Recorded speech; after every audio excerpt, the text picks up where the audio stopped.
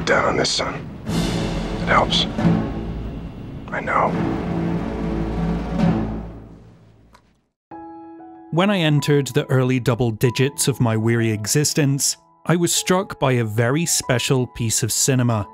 1997 Starship Troopers is a film I cherish more than any other. I'm not saying I think it's the best or most important movie ever made, but it is my favourite. I didn't pay any attention to the sequels or spin offs because I'd never felt the need to dilute perfection. If I wanted more, I could just watch it again.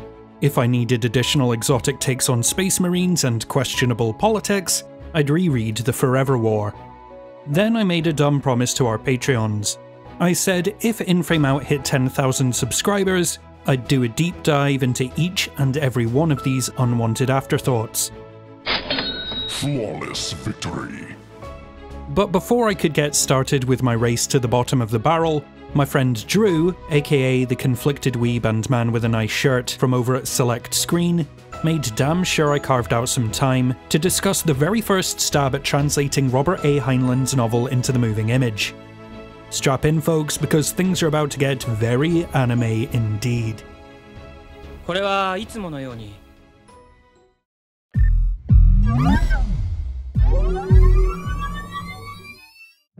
Nine whole years before Paul Verhoeven gave birth to his beautiful fascist baby, Japan was channeling Johnny Rico's Aryan energy into a cheap and disconcertingly cheerful OVA based on Heinlein's source material. With the most popular visual interpretation still a ways off, director Tetsuro Amino and his team of animators were tasked with giving life and commercial appeal to a novel famously low on levity and high on incredibly uncomfortable xenophobic overtones. They did this in just about the most 80s anime way possible. Cue wildly inappropriate pop rock bangers over what is ostensibly a dewy eyed ode to steel toed militarism.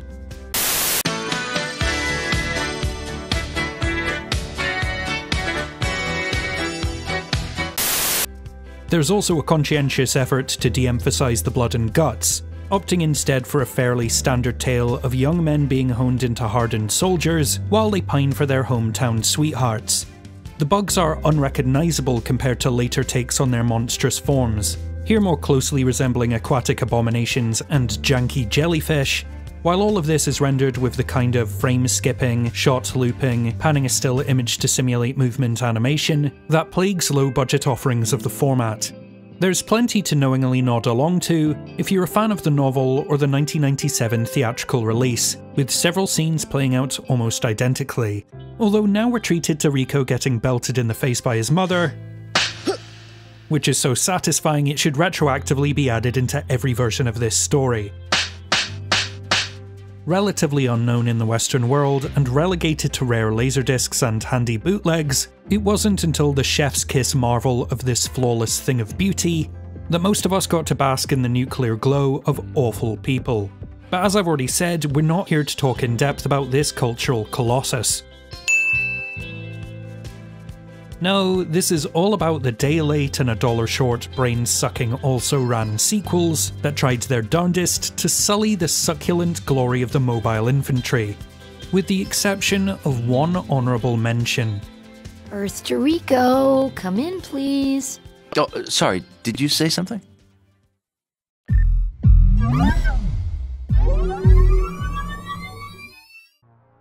Chronicling the ongoing exploits of Johnny Rico and his gung ho regiment of bug stomping stormtroopers, Roughnecks offers a surprisingly robust look into the tech, creatures, lore, and characters of the Starship Troopers universe. Some of its own invention, a few pulled right out of the novel, and some chopped and screwed elements from young adult fare like Ender's Game and Transformers. Following multiple campaigns and overarching threads, the plotting and voice acting is a step above what you might expect, and there's a serialized continuity from week to week that nurtures a real investment in these garishly rendered jarheads. It's commendable to see a show explicitly formatted for children's TV that refuses to pander or talk down to a younger audience. When the mobile infantry wiped out that nasty bug infestation threatening our research stations on Pluto, enlisting was no longer just patriotic, it was cool. Which, amongst other reasons, may be why this never caught on as it should. Marred with production delays, scheduling conflicts, and no bid to capitalise on the lucrative potential for toys or tie ins, Roughnecks was cancelled before it could even finish out its first season. Nowadays, the biggest barrier to entry is its availability, as it's relegated to low definition DVD releases, as well as the fact that, well, it's very much a product of its era, which is a kind way of saying it looks extremely rough by modern standards. Still, if you can get through its outdated shell, there's a lot here to admire, which is a hell of a lot more than I can say for what's coming next.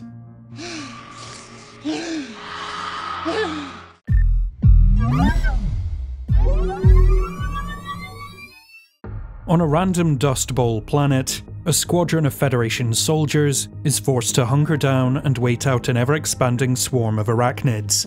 One by one, they're infected and killed off by a new breed of mind controlling bug. Right off the bat, it's readily apparent this shabby and wholly unnecessary sequel is a no budget affair. While it cost just 5% of the original's budget to produce, any money at all that went into Hero of the Federation feels completely wasted. The establishing shots are a jarring blend of shamelessly reused moments from the original film, which was shot on pristine 35mm Kodak film. Here, those images are carelessly interspersed with new footage captured on low quality digital tape.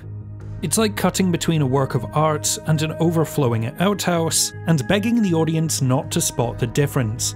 Once things settle into their terrible groove, the sweeping downgrades to everything you'd associate with Starship Troopers start to feel like an escalating toothache. After an opening skirmish that takes place on what looks like a mound of dirt in someone's backyard, we scurry along to some chest high walls, where most of the already limited cast are immediately killed off by a gust of wind because extras and actors cost money. From here on out, the rest of the film takes place almost exclusively in a dingy bunker, absent any hint of colour, personality, or production value. The once intimidating assault weapons are here replaced with plastic toy rifles, spruced up with blinking flashlights on the end of their barrels to simulate muzzle flare. What little action there is is distorted with excessive, unmotivated shaky cam and a ludicrous over reliance on character close ups in a failed attempt at masking the minuscule sets. So, how do you go about adding atmosphere to these generic dusty corridors? I don't know. Hero of the Federation's answer is to ask the gaffer to shine a floodlight directly into the actor's eyes. But why? In a truly baffling piece of casting, actor Brenda Strong returns, having played Captain Deladier in the original. Only now she's Sergeant Rake, a completely unrelated character in the supposedly canonical sequel, whose most memorable characteristic is that she has a tattoo that appears to have been drawn on with a sharpie. It may look bad, but if that's the worst you suffer, then that's fine. I won't quit. All of these shortcuts, infantile decisions, and budgetary compromises would be more adorably garbage if this wasn't a follow up to a film that still feels technically impressive after more than 20 years. Which makes a quick glance at the crew behind this all the more shocking. This was written by Edward Neumeier, the same man who had previously given us screenplays for Robocop and Starship Troopers, and it was directed by visual effects genius and Jurassic Park dinosaur supervisor Phil Tippett but you'd be forgiven for thinking this entire thing was made up on the fly based on whatever props and sets they could get their hands on. Remember this small but wonderful scene from the original? They sucked his brains out. Hero of the Federation is that, but stretched out to 90 minutes long, in a disaster that begs the question what if we dug up John Carpenter's The Thing and lathered its sticky skeleton in earwax? It is completely lacking in satire, allegorical edge, or even the faintest facade that anyone involved gave a fuck. Look how they massacred my boy. Hero of the Federation is the worst thing to ever besmirch the Starship Troopers brand. Attempting to recall what happened mere moments after the credits roll is like scrambling to remember a nightmare you had in the womb. Thankfully, nothing that followed this was quite as bad, but don't get me wrong, they are not good. I mean, you do know that, don't you?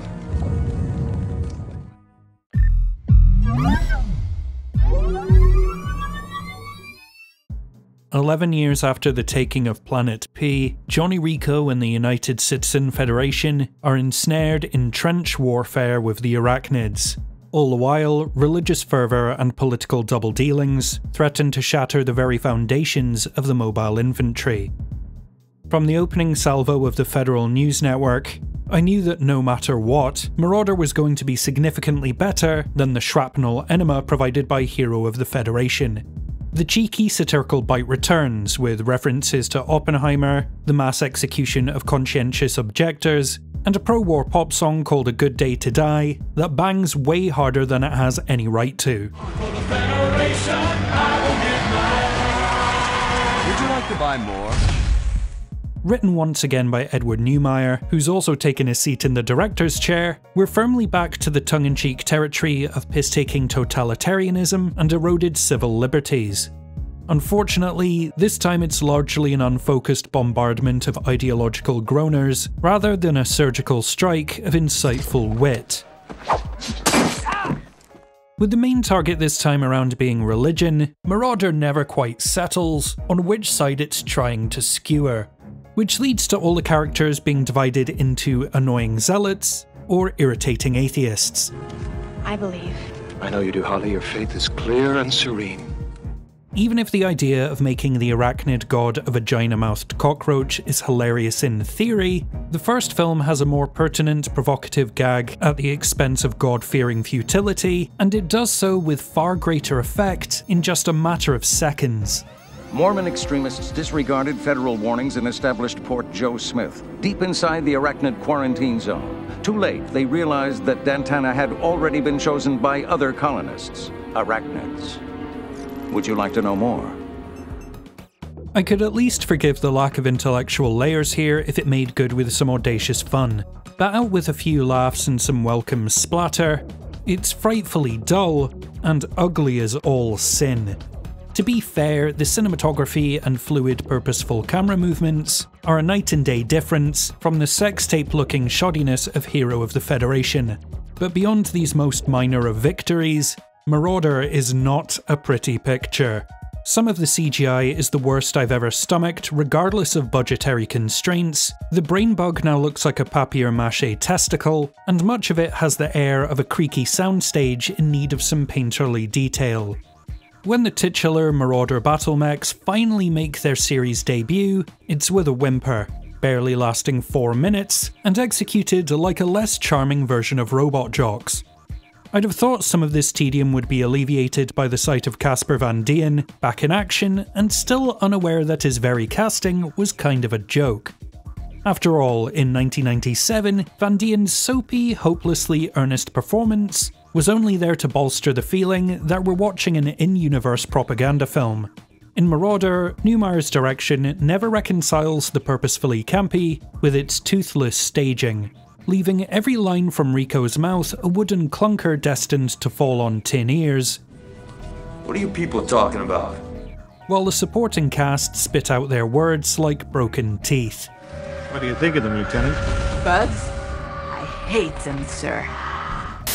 And because this is one of the few things I'm okay with being pedantic about, folks keep calling Rico the hero of Planet P, even though he's absolutely not. It was a drill instructor named Zim who captured a brain. Show some goddamn respect for Zim, you fucking. Anywho, Starship Troopers 3 Marauder goes to show that you can be a noticeable improvement and brimming with ideas, but still short your civvies when you step up to the plate.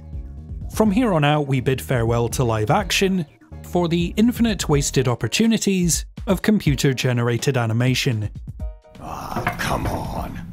I didn't have anything to do with any of this. I'm just the damn janitor trying to clean it up.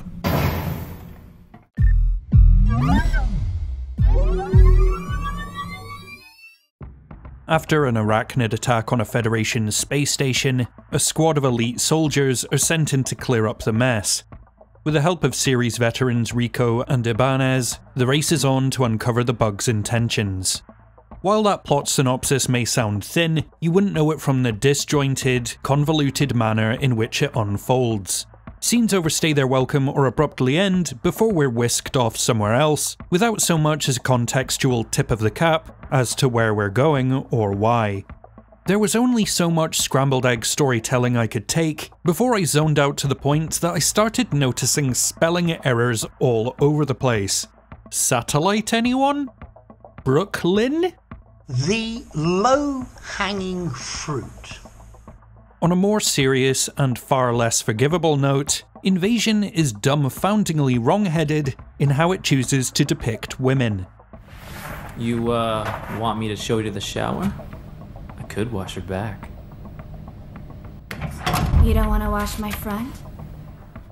In the first 30 minutes, we're treated to multiple leering shots of computer sculpted boobs, in all their creepily out of place gratuitousness. Outside of these shudder inducing scenes, objectification and waifish characterization are rife. Verhoeven understood that every member of the Federation fleet is equal regardless of gender, because in the eyes of this military, each grunt is just as expendable as the next. Even his brazenly corny version of a co ed shower scene served as both a mockery of superfluous sexualization and a jab at how action cinema tries to sex up what is essentially an exposition dump. Starship Troopers Invasion just feels disgusting. All the while, it drunkenly stumbles the line of at once wishing to be a gruff voiced, self serious ode to the Starship Troopers novel, while wholesale lifting almost all the design elements from Verhoeven's movie. Now, that isn't to say this doesn't bring any new stylistic choices to the table. It's just that they're all incomprehensible. The bugs here are perfectly capable of thriving in the freezing vacuum of space. The Arachnid Queen can apparently hack human computers with its mind. Rico has gone from looking like this to a cross between Solid Snake and a roughed up Bible salesman, and Carmen's new appearance is that of a default create a character template that nobody bothered to customize. Then there's the most obvious change from the previous three films. Invasion is Starship Troopers' first feature length offering to make the jump to animation, and it's certainly a leap forward in that regard, following the unkempt anime and lovable but aesthetically unpleasant Roughnecks, at least when it comes to inanimate objects and cosmic vistas. Once our heroes take off their helmets, however, the film falls headfirst into the uncanny valley, leaving only a mangled corpse of dead-eyed obliviousness on the canyon floor. It's another example of the all too common Final Fantasy The Spirits Within problem, where any effort to render human emotion registers like someone pumping too much air into a sex doll. These downright weird facial expressions only become more disconcerting when paired with voice acting that wouldn't feel out of place in a porn parody of a commercial for mood stabilizers. A bug invasion will not happen on my watch, sir. Ultimately, once you've scraped the small handful of interesting action beats off the heel of your boot, all that's left of Invasion is a stringy, icky mush of misguided ideas and narcoleptic narrative. Still, it was successful enough for director Shinji Aramaki to return for the fifth and to date final flog of this long dead horse. Are you dying on me? What? I said, are you dying on me, Trooper? No.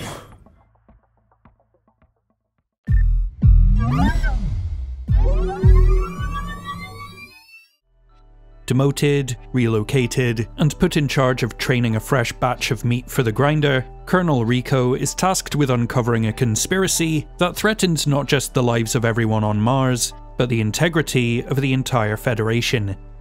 Third time's the charm for Casper Van Dien, the on again, off again lead of this wretch inducing rodeo, as Traitor of Mars earns the distinction of being the best of a very bad bunch. Whoa, don't get carried away now. It's the best in the same way that setting fire to your leg is preferable to plunging your head into bubbling magma. This is still the kind of film where bug plasma incinerates troops and rips starships in half, but doesn't so much as knock a strand of stubble off Johnny Rico's chin. Once again, the unblinking, rod up the ass computer animation is back in all its unsettling awkwardness, though there is a marked improvement across the board in terms of fidelity and fluidity. That's until, for reasons unknown, they arbitrarily paste in some live action footage, in the same jarring manner in which they crammed a Fred Willard cameo into WALL-E. The plot here is negligibly slight, acting more as cardboard packaging to deliver long absent fan favourites and brief flashes of muscular spectacle. But I have to admit my heart did flutter for a moment when I heard Dina Meyer back as the voice of Dizzy Flores. Diz? I knew that would work. She's here in the form of a psychic astral projection that doesn't make a lick of sense, but she gives Traitor of Mars a much needed dose of warming nostalgia. It's in these moments of fan service and Saturday morning cartoonish stupidity where this installment comes closest to finding a satisfying tempo. In particular, a drop sequence onto the surface of Mars is tremendously fun, suitably violent, and brimming with the piss and vinegar required to hack through the walls of shoddy shit this series has built around itself. Still, by the end, the bad categorically crushes the life out of the good, which goes to show even the most polished turd on the shelf is never going to compare favourably with a chocolatey treat.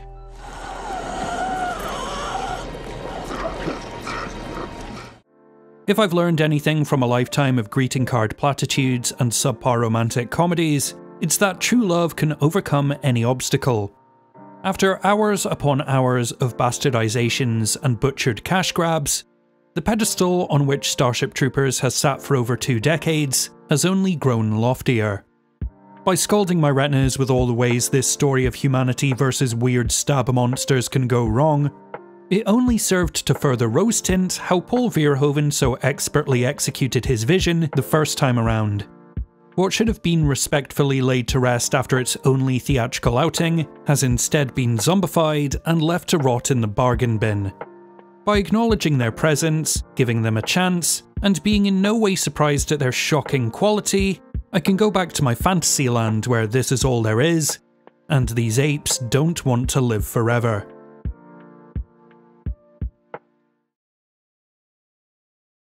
The only good sequel's a dead sequel for our Patreon producers Jennifer C., Claire MD, Becky O, and Nicholas Lair Revere, and a nuke down the bug hole for all these amazing folks who support us over on Patreon.